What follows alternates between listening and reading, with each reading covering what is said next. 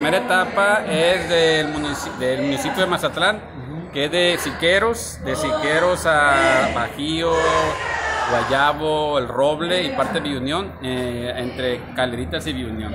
¿Hay cuántas familias, bueno, cuántos productores estarían beneficiados en esta Bueno, eh, exactamente no tengo esa información, pero lo que sí sé que por, por todos son alrededor de 2.500 productores dentro del distrito de riego de las 22.500 hectáreas. Se empezará la primera etapa por la margen izquierda e iniciarán en la sindicatura de, de Siqueros y ahí fue eh, donde, donde inicia el distrito de riego.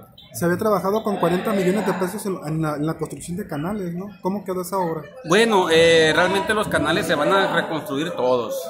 Eso, esto es lo más importante, pues si hay un canal que no está bien construido, que no está cumpliendo con los requisitos, se va a reconstruir todo, todo, todo, todo.